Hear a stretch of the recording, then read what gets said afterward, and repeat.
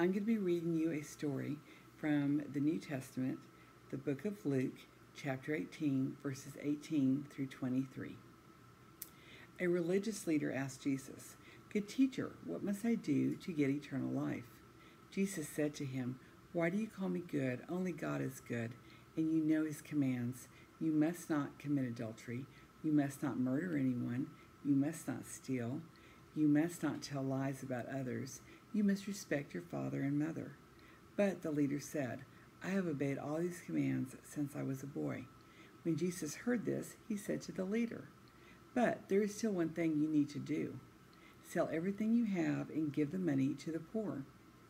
You will have riches in heaven. Then come and follow me.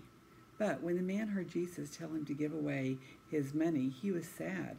He didn't want to do this because he was very rich.